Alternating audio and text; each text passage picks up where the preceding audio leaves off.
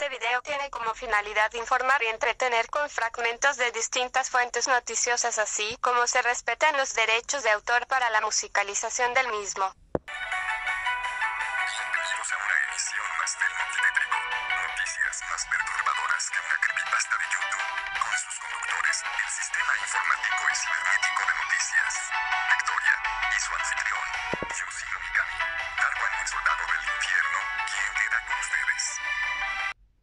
Gracias, gracias mi querido Lengua Larga, gracias por esa presentación. Estamos aquí en otra emisión más de Notitétrico, noticias más perturbadoras que una creepypasta de YouTube, porque son reales y se pueden corroborar. Antes que nada, quiero hacer la aclaración de que esto lo estoy haciendo con una finalidad social. No soy reportero, no soy informador, soy investigador, eh, técnico en electrónica, además de otras ocupaciones que tengo. Soy comerciante también.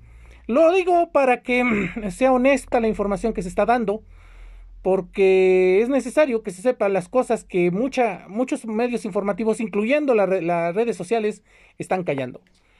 Pueden encontrarme en la página de Yoshiro Mikami en Facebook y la de Corazón de Plata en, en YouTube. Iniciamos pues con, este, con esta emisión. Adelante, Victoria 2.0.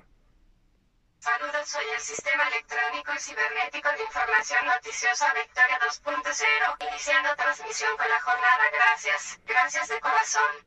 Me retiro con el orgullo y el honor de haber servido a un pueblo bueno, trabajador, inteligente, fraterno, heredero de grandes virtudes y valores de los antiguos mexicanos, enfatizó el presidente Andrés Manuel López Obrador en su último informe de gobierno. En estos seis años se hizo mucho, entre todos y desde abajo y ahora es indispensable seguir luchando para fortalecer lo alcanzado y continuar construyendo una patria nueva, generosa y eterna, remarcó. Emocionado por el cobijo que ayer tuvo en un zócalo capitalino repleto, el mandatario resaltó que el ideario de su gobierno se sustentó en los postulados de los luchadores de la independencia, la reforma y la revolución, y enalteció que siempre mantuvo comunicación con la gente. En su mensaje, el mandatario recordó que hace seis años inició su gobierno con algunas reformas a la Constitución, hasta donde se pudo, para promover leyes que permitieran frenar la política antipopular, entreguista y corrupta que se había impuesto y legalizado por el predominio de un poder oligárquico con apariencia de democracia. Esto dentro del marco del último informe de gobierno de Andrés Manuel López Obrador, que se leyó el pasado primero de septiembre, el pasado domingo, y que en el cual hubo mucha gente en la zona del Zócalo Capitalino. Ahorita en estos momentos, de hecho, el Zócalo, el Zócalo Capitalino está siendo modificado para las festividades del próximo 15 y 16 de septiembre que se llevarán a cabo dentro de ocho días y de las cuales, en lo más, en lo medida de lo posible, les tendremos informando. Y tras recordar que el 5 de febrero pasado presentó un paquete de 20 iniciativas de reforma más, desde la plancha del Zócalo se escuchó un no cuando mencionó que está por concluir su mandato. Quiero confesar aquí, desde la principal plaza pública de México, donde tantas veces nos concentramos durante nuestra lucha por la justicia y la democracia, me voy a jubilar con la conciencia tranquila y muy contento por haber logrado, con el apoyo de millones de mexicanos, reducir la pobreza y la desigualdad en el país. Pero también me voy tranquilo porque se entregará la banda presidencial a Sheinbaum Pardo. Euronews informa que un ataque con misiles rusos mata a 41 personas y a otros 180 en la ciudad ucraniana de Poltava. Dos misiles balísticos rusos impactaron en un centro educativo y un hospital cercano en la región centro-oriental ucraniana de Poltava, matando al menos a 41 personas y hiriendo a otros 180, informó este martes el presidente ucraniano, Volodymyr Zelensky. Y continuando con las hostilidades entre Rusia y Ucrania, se está reportando cada vez más, este, más, más decesos a raíz de este conflicto, a más de tres años de este asunto. El gobierno de Rusia no quiere ceder y al parecer, bueno, en mi postura, aunque me oiga muy capitalista, lo que ustedes quieran, yo creo que si un país ya alcanzó su independencia de alguna u otra forma, hay que respetarlo. Si no nos parecen las cosas que se están haciendo o que están a favor de algo o de alguien, creo que lo importante es el respeto porque decía Juárez, entre los individuos como entre las naciones el respeto al derecho ajeno es la paz. Y discúlpeme que se los diga y discúlpeme que baje mis bonos con ustedes, como anarquista que soy, pero la verdad yo siento que lo de Rusia es totalmente una invasión. Y no estoy siendo derechista ni nada, estoy siendo práctico. Es como si España quisiera volver a invadir México después de que hemos este, pasado por muchas vicisitudes tras nuestra independencia. Hay que respetar las cosas. Que según Rusia se está defendiendo de, de, la OTAN y de los intereses norteamericanos, de acuerdo, tiene su derecho, pero no por eso tiene que causar tantas muertes en una zona tan pequeña como es Ucrania, Ucrania, ¿no? Y que muchos dicen, no, es que está todo lleno de criminales. Yo les recuerdo que en México estamos llenos de criminales y a muchos nos echan de narcotraficantes, de ladrones, de tranzas. No es culpa de ellos, señores. Bueno, en parte sí es culpa de ellos y es culpa de nosotros, porque nosotros dejamos que esto creciera. En realidad, no hay inocentes en la guerra. ¿Por qué? Porque siempre se cobran las vidas. Y no podemos hacer nada. No podemos hacer nada porque, porque ya tienen su independencia, ellos firmaron con quién estar. Creo que lo mejor que podemos hacer es respetar esa decisión. Si nos, beneficia, nos perjudica, como dice una comediante por ahí en las redes sociales, si el pedo no es mío, si el culo no es mío, ¿por qué me he de molestar? Así de simple. Putin, recibido con honores en Mongolia pese a la orden de detención de la Corte Penal Internacional, las autoridades mongolas deberían haber ejecutado la orden de detención dictada por la Corte Penal Internacional, CPI, contra Vladimir Putin, pero no lo hicieron. A ver, volvemos a lo mismo, a este mismo tema de hace unos segundos. Si el señor Putin, por muy corto que nos caiga o por muy mala nota que sea, pues lo siento, o sea, él puede viajar y hacer, ir a deshacer como quiera. Si Mongolia no quiso ejecutar la orden de aprehensión contra, este, contra Putin, pues ni modo, es un país soberano, es un país que saben lo que están haciendo, que invitaron al presidente ruso a su a sus ceremonias, a sus eventos, igual aquí en México. México invitó al mismo presidente Putin a que se diera el bando, el cambio de bando presidencial a la, a la ahora presidenta Claudia Sheinbaum Pardo. Que nosotros no nos parezca, pues ni modo, porque si México lo permite, no podemos hacer nada. ¿Está claro? Lo que podemos hacer es que podemos ir a protestar y todo eso por lo gordo que nos caiga y todo lo que está sucediendo. Bueno, eso es aparte. Pero entiéndase, los países son independientes, tienen sus constituciones y sus leyes. No puede venir ningún otro país como Estados Unidos a decir, ay, es que Mongolia, ¿por qué no lo, no lo arrestaste? Pues es su problema. Así de simple. Y así es como también debería respetar Rusia, que son problemas de Ucrania si tienen o no tienen criminales y hagan su desmadre. Digo, seamos claros, si México, fíjense, fíjense cómo somos medio tontillos y nos falta mucha, mucha, mucha información. En México tenemos muchos, el, cártel Jalisco Nueva Generación ya invadió Belice, ya invadió Colombia, ya invadió Guatemala, ya invadió Honduras. A ver, ¿por qué no va el gobierno mexicano a invadir esos países para liberar a esos criminales, eh? Digo, seamos claros. Sí, allá hay neonazis lo que tú quieras, la chingada, sí, ok, va. Pero el gobierno ruso agarra, intervino y hizo su desmadre, ¿no? A ver, ¿por qué no hacemos lo mismo nosotros los mexicanos con el cártel de Jalisco Nueva Generación que ya invadió allá? en los otros países que yo mencioné. ¿A verdad? ¿Cuál es la diferencia entre uno y otro? ¿Mm? O sea, sí, soy muy simplista, pero piénsele también, o sea, no nada más es este lo que nos quedemos con la izquierda y que con lo progresista, no, señores, no todo lo progre es bueno y los y ya se está demostrando, o sea, nomás vean lo que está sucediendo, así de simple. El presidente fue recibido con honores en el Infobae nos dice que en una jornada marcada por la controversia y el ambiente de tensión, la Cámara de Diputados aprobó en general la reforma al Poder Judicial, propuesta por el presidente Andrés Manuel López Obrador. La votación, que se llevó a cabo la madrugada de este miércoles 3 de septiembre en una serie alterna, debido a los bloqueos protagonizados por trabajadores judiciales en la Cámara de Diputados, resultó en la aprobación de la iniciativa con el respaldo de la mayoría calificada. La votación en el general se cerró con 359 votos a favor, 0 abstenciones y 135 votos en contra, tras más de 12 horas de discusión y 6 rondas. El bloque oficialista, encabezado por el partido Morena y sus aliados, lograron unir los dos tercios necesarios para la aprobación de la reforma constitucional, que introducirá cambios significativos en el sistema judicial mexicano. Entre los puntos más debatidos se encuentra la propuesta de que y ministros sean elegidos mediante voto popular, a partir de listas de candidatos presentadas por los poderes ejecutivo, legislativo y judicial. Aquí es donde yo estoy en contra. Les voy a decir, miren, tal vez sea un avance muy significativo en cuanto a materia judicial, pero la reforma, la, reforma jurídica, el, el poder federal del Estado, la verdad, Yo se los digo en claro, para mí es una verdadera pendejada. Les voy a decir por qué. Miren, discúlpenme si sueno esta izquierdista, eh, derechista, lo que quieran. Perdónenme, pero es mi manera de pensar. Y yo, como así respeto sus maneras de pensar en ocasiones, respeten la mía, ¿no? Digo, entre los individuos, entre las naciones, el respeto al derecho ajeno es la paz. Si no eres capaz de ello, pues estás dentro de la cultura woke y eso es peligrosísimo. Porque los woks no saben ni qué pedo. ¿Me entienden? Miren, yo se los explico así. La reforma judicial te propone que como ciudadano elijas a tu magistrado a tu, a tu juez, ¿no? Que se ve muy buena onda, se ve muy inteligente, se ve pues una buena solución para evitar los cotos de poder que había en el pasado y las injusticias que hubo. Vamos a ser claros, en el pasado sí hubo muchas injusticias, sí es cierto, y solamente el 10% de esos casos que se presentaban ante los ministerios públicos y ante los jueces se resolvían. Los feminicidios, por ejemplo, pero también los del 61, el 68, el 71, ¿sí? Los, esos fechas importantes. La matanza de Riotula, lo de Aguas Blancas, ¿sí? Todo el, caso Polet, el News Divine. Yo no, ahí sí, yo les doy la razón. Sí, tiene que haber una reforma.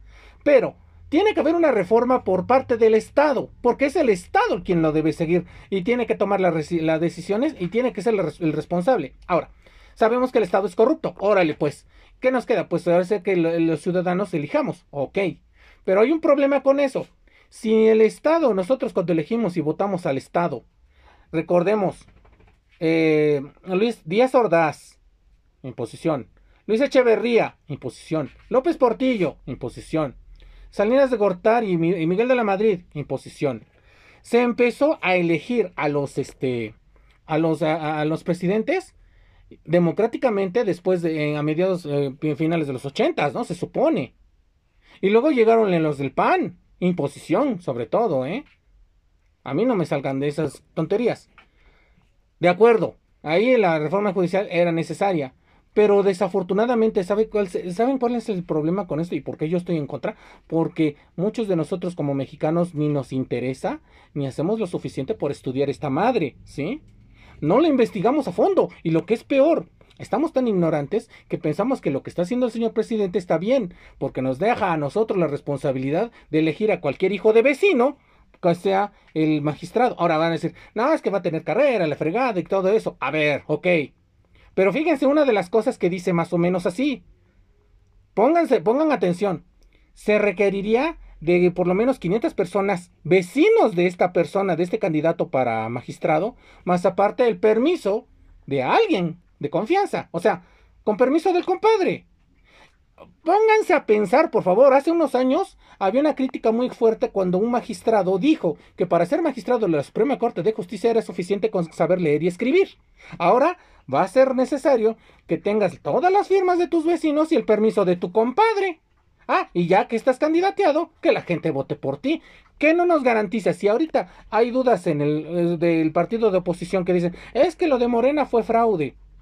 Pues también ellos hacían lo mismo. ¿Qué no nos garantiza que va a suceder lo mismo con los jueces y magistrados que supuestamente vamos a elegir como ciudadanos, pero que es el poder, el poder federal, quien va a otorgar esas candidaturas? Digo, pues que sigan este como antes. Ahora sí que nosotros nos van a dar la, pistola para que nos tiremos el pie, ¿no? En el pie. No, señores. Ok, vamos a asumir nuestras responsabilidades como ciudadanos, pero yo les recomendaría que para eso hay que estudiar, hay que ver las leyes, hay que estudiar cada uno de los artículos de la Constitución, sobre todo el artículo 27 que está siendo modificado, y que si no nos ponemos al, al tiro, yo nada más les voy a hacer una recomendación, tengan a la mano un amparo y tengan a la mano la constitución y sobre todo sus recibos de sus pagos de predial, agua y luz. Yo sé lo que les digo, señores. Pongámonos a las pilas porque no sabemos. Hay una frase en la antigüedad que se utilizaba mucho en la antigua Unión Soviética. El partido al servicio del pueblo. Pero se ejercía al revés. El pueblo era al servicio del partido. Que no nos hace pensar que esto va a suceder.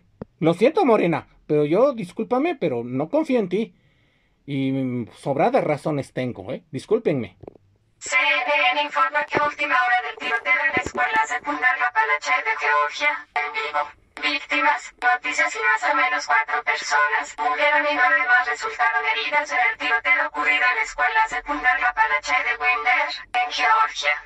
La oficina del sheriff del condado de Barrow informó que hay una persona detenida. La Casa Blanca indicó en un comunicado que el presidente Joe Biden fue informado sobre los hechos por parte de su asesora de seguridad nacional, Liz Randall. Una niña y su madre observan cómo las fuerzas del orden y los socorristas rodean la escuela secundaria Palachel Rinder, Georgia, el 4 de septiembre de 2024, después de que se informara de un tiroteo. Cuatro personas murieron y nueve fueron hospitalizadas después de un tiroteo en una escuela secundaria de Georgia el miércoles por la mañana, dijeron las autoridades.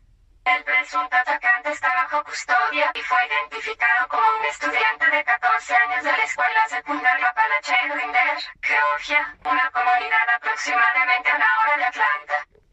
Una actualización acerca de esta nota de Victoria. Hace unas horas fue detenido el padre de este muchacho, quien este, utilizó su pistola para cometer este atentado en contra de los estudiantes. Y que, bueno, en el momento en que fue procesado, el, el, el, el padre de este niño, de 44 años de edad, dijo que le había comprado esta arma a su hijo en la pasada Navidad. Con investigaciones más específicas, el padre resulta ser que es miembro de la Asociación Nacional del Rifle de los Estados Unidos de América. Este grupo que se ha encargado de echar abajo muchas iniciativas de pacificación en esas zonas tras los tiroteos que ha habido en Columbus y en distintas partes de los Estados Unidos y que gracias a gente como esta persona que irresponsablemente le da a un niño de 14 años un arma para poder hacer sus tropelías. La verdad es que yo creo que la mayoría de los norteamericanos, si es que no todos, no los voy a echar todos en la misma bolsa, hay norteamericanos muy prominentes y que se les reconoce su sabiduría. Pero la mayoría me está recordando mucho a Homero Simpson allá en Springfield, no sé, o sea, esto está más allá de todas las capacidades de entendimiento posibles, ¿no? Las autoridades todavía están investigando el tiroteo y el motivo detrás del mismo. El sheriff del condado de Barrow, Jude Smith, advirtió que podrían pasar varios días antes de obtener respuestas. El atacante tirador y las víctimas. Dos estudiantes y dos profesores murieron, dijo el director de la Oficina de Investigaciones de Georgia, Chris Osei. El presunto atacante fue identificado como Colt Gray, de 14 años, dijo Osei. Será acusado de asesinato y juzgado como un adulto. Los investigadores hablaron con el presunto atacante y se pusieron en contacto con su familia, dijo Smith. Según Smith, no se conoce ninguna conexión entre el presunto tirador y las víctimas. Pero se añadió que la investigación está en curso. El departamento del sheriff recibió los primeros informes del tiroteo alrededor de las 10:20 am, según Osei. Las autoridades llegan un poco después de esas primeras llamadas, dijo Sei, además de dos oficiales de recursos escolares que fueron asignados a la escuela secundaria Palacheve.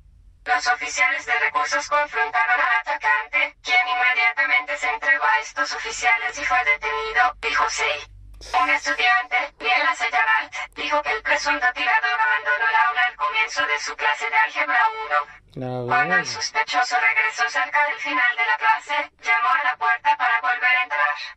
Otro estudiante fue a abrir la puerta, pero Liela dijo que notaron el arma y no le abrieron. Dijo que el atacante fue al salón de al lado y abrió el fuego. El FBI y LAX estaban en el lugar, trabajando con funcionarios locales y estatales, dijo el secretario de Justicia Mary Garland. Cuando ocurrió el tiroteo, todas las escuelas del distrito fueron cerradas y, como medida de precaución, se envió policía a todas las escuelas secundarias del distrito. No hubo informes de incidentes o escenas secundarias, dijeron a CNN fuentes policiales. La escuela secundaria Palache recibió una amenaza telefónica esta mañana, advirtiendo que habría tiroteos en cinco escuelas y que Palache sería la primera, dijeron a CNN varios funcionarios encargados de hacer cumplir la ley. Las escuelas del condado estarán cerradas durante el resto de la semana mientras se desarrolla la investigación, dijo Dallas Leduc, superintendente del sistema escolar del condado de Barrow.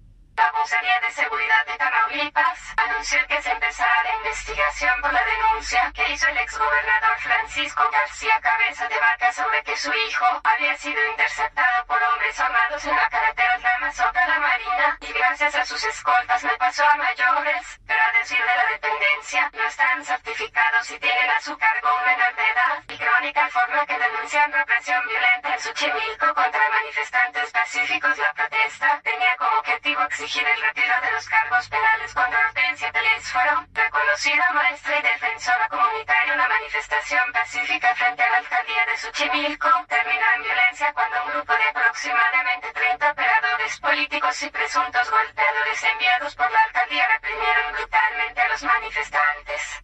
Entre las víctimas se encuentran personas de la tercera edad y jóvenes, quienes fueron agredidos físicamente con palos y atacados verbalmente. La protesta tenía como objetivo exigir el retiro de los cargos penales contra Hortensia Teles fueron maestra y defensora comunitaria, acusada de despojo por su participación en la recuperación de un espacio público en San Gregorio Tlapulco. Cabe recordar, este, bueno, este, una actualización de esta nota también, que ya fueron liberadas las personas que fueron encarceladas, que fueron este, detenidas por parte de las autoridades de Xochimilco. Em, se está haciendo una investigación acerca de lo que está sucediendo, porque también personas de, de menor edad y personas de adultas mayores también fueron afectadas por esta represión. Las autoridades están tomando cartas en el asunto, según dijeron por parte de la ciudad, del gobierno de la Ciudad de México. Martí Batres dice que se va a investigar este asunto. Ahora, con lo que está sucediendo con las manifestaciones a lo de la reforma judicial que se, que se está metiendo ya de manera impuesta por parte del presidente de la República, dudo mucho que se, pues si antes no se lograba algo, ahora menos, así que porque los procesos jurídicos necesarios para proceder y para hacer las detenciones requeridas simplemente no van a salir porque no va a haber quien gire esas órdenes.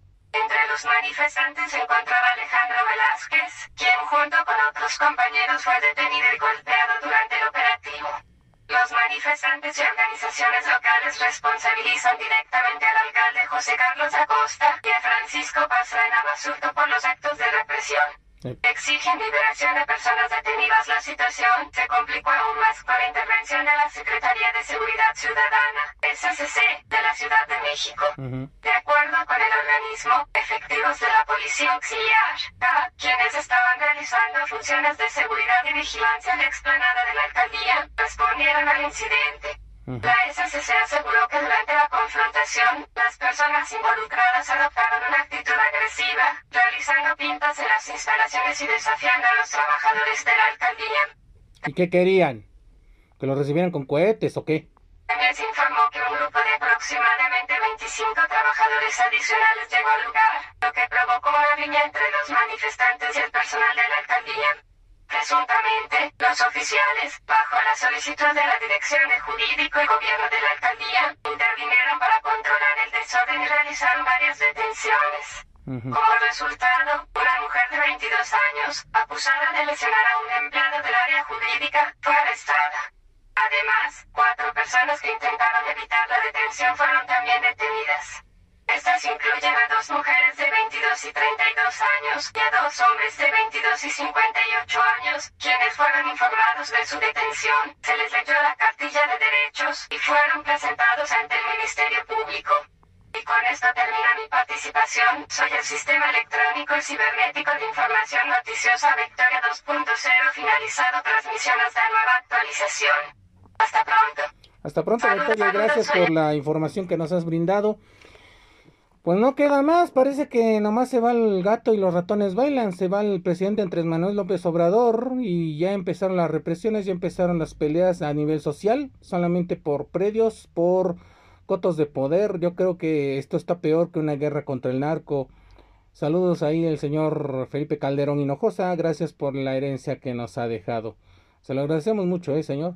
Eh, un favorcito, diga, antes de que se me olvide, Usted eh, ya deje de opinar en asuntos de México, usted ya de renunció a la ciudadanía mexicana, usted es español, por favor dedíquese a esos asuntos e intente ver si, en si la Universidad de Salamanca le aceptan por este su pues sus conferencias que se les están negando debido a su relación con el narcotráfico. Que tenga buena suerte y buenos días, señor Felipe Calderón. ¿Qué onda, Dark? Aquí está el galán más cotizado de toda la red. Ah, ¿qué onda? Nuestro amigo el tío gilipollas. Nuestro amigo el tío gilipollas, o bueno, el mejor, el, tío, el tío putativo de nuestro amigo el CJ, el negro más poderoso, el malandro más poderoso de la red. ¿Qué me cuentas, güey? ¿Cómo has estado? Bien guapo, como siempre. sí, guapísimo, ¿no? con tu pinche cara de la mole y allá no. pinche mendigo. Por algo, por aquí te decimos el maíz cacahuacincle. Porque es un grano de maíz bastante gordo y bastante feo, güey. Me cae de madres. El sobrino CJ anda de vago como siempre. Ah, es lo que te iba a preguntar. Así que el, el CJ anda de, de vago, ¿eh? Y te encargó a ti para que dieras la nota, ¿no? No, pues está bien, está bien, pinche tío gilipollas, ya era tiempo de que dijeras algo. Siempre que, siempre que te contacto, siempre, nomás es- son llamadas personales, güey. Nunca quieres eh, colaborar aquí ni nada. Por eso me sacó de onda que fue nos, nos echaras una mano por este lado, ¿no? Pero qué bueno. ¿Qué me cuentas, pinche tío gilipollas? ¿Qué, qué hay de nuevo? Yo ando en la tierra de los 45 grados. Ah, chinga. ¿Antes de los 45 grados? ¿Andas en el norte, cabrón? Te la machaca con nuevo. Y me agarras hambre y del ligue y acostone entre parientes. Ah, hijo de la chinga. Andas eh, ligándote a una prima allá en Monterrey, ¿verdad, desgraciado? Andale ando ahí mero. Pinche tío jalapollas. Te la mamas, güey. ¿Qué pasó, güey? ¿Qué me tienes? Te tengo un chisme bien cachetón sobre este lugar. A ver, dime, ¿qué me cuentas, mi querido tío jalapollas? Pues mira, una camioneta cayó sobre dos vehículos que se encontraban en un estacionamiento de una plaza comercial en Monterrey.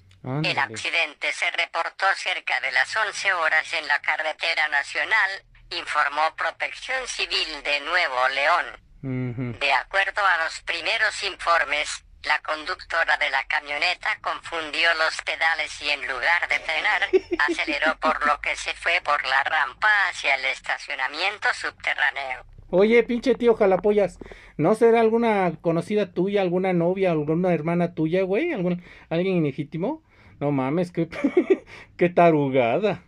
De acuerdo a las autoridades, en el accidente participaron una camioneta Ranger Rover color negra, misma que cayó encima de una camioneta Porsche y una camioneta Ram en color blanca en los hechos, ocurridos en la plaza comercial Pueblo Serena. No se reportaron personas lesionadas. De esto daban cuenta muchos medios de comunicación como ABC Noticias. Mm. Ándale, pinche tío jalapollas. A pesar de que eres medio güey, sí has dado buena noticia. ¿Qué más me tienes, güey? Y luego para acabarla de gilipollarlas. ¿Cuál? Lluvias colapsan techo de centro comercial en San Pedro. ¿Mm? Hay cinco lesionados las intensas lluvias que pegaron ayer miércoles al municipio de San Pedro Garza García terminaron por tumbar una estructura del techo de una plaza comercial. Huevos. La caída del cristal, así como el impacto del agua dejaron un saldo preliminar de cinco personas lesionadas. Pues. Los hechos se registraron cerca de las 15.30 horas. En este complejo ubicado en la avenida Real San Agustín barra Montes Altos, en la colonia residencial San Agustín segundo sector. En el lugar hicieron acto de presencia elementos de protección civil de Nuevo León, quienes han brindado auxilio a las personas afectadas, Mm. sin que se especifique cuál es su estado de salud. Como ves, Como La chingada, mi querido tío jalapollas. Está de su pinche madre.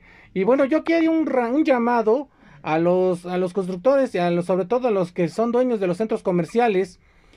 Y eso porque yo lo he visto. Muchos de los centros comerciales tienen así algo elegante como techos de cristal. Yo les haría el llamado de que cambien esos techos, pongan material fuerte y translúcido. Porque el cristal que usan está siendo un poco más, digamos, de muy mala calidad. Y las lluvias, sobre todo que se vienen tormentas fuertes, ya vienen con granizo y los granizos son muy, muy, muy pesados y muy peligrosos. Sobre todo en la zona de Reforma 222, yo sería de la idea que cambiaran todo ese techumbre de, de, de, de vidrio que tiene, que aunque se ve muy elegante, es peligroso. Porque no creo que la misma, la misma empresa que representa la, la- el, co- el consorcio industrial de Reforma 222 se haga cargo de los daños si es que llega a haber algunos, ¿eh? Así que bueno, la advertencia está dada. Y sería bueno de la. Y yo sería de la recomendación que por favor compartieran este video a sus conocidos y a sus contactos porque es necesario que se sepa esto, porque puede haber una tragedia en estos centros comerciales donde va mucha gente y que seguramente si ocurre algo, estos centros comerciales y los dueños no se van a hacer cargo para ni madres, ¿no? Y bueno, pues esto, esto hay que, hay que denunciarlo, ¿no? O sea, les, ahí por favor les pido que comparten el video. Y eh, si quieren darle like, adelante. Si no, no hay ningún problema. A esta de la madre, te dejo, voy a buscar a mi sobrino él. Órale, pues. Cuídate, mi querido tío Jalapollas. J para echarnos una michelada monterrellena. Órale, pues, pinche tío Jalapollas. Provecho para ustedes dos. Cuídate. Luego la vemos. Luego la ¿Qué vemos, mi querido Jalapollas. Y bueno, pues con esto terminamos nuestra emisión de del Notitétrico Noticias más más este mm, perturbadoras que una creepypasta de YouTube, porque son reales y se pueden corroborar. Eh, si tienen dudas acerca de las fuentes eh, que se están consultando, pueden ponerlo en su caja de comentarios del, del video, ya sea de YouTube o de Facebook, y con gusto les pasamos los links necesarios para que ustedes puedan comparar las notas y que vean que realmente, aunque es una parodia, de noticiario, pues estamos siendo lo más, lo más realistas y informamos de cosas que algunos medios pues no se atreven a informar. Yo soy Yoshiro Mikami, Dark One, el soldado del infierno. Deseándoles que tengan este, felicidad en sus vidas pasadas, presentes y en el futuro. Y que nos seguiremos observando. Que tengan un excelente fin de semana. Esto fue todo. Acompáñenos en una próxima emisión del Notitétrico. Noticias más perturbadoras que una creepypasta de YouTube. Gracias por su atención. Hasta pronto. Hasta pronto y cuídense. Nos vemos.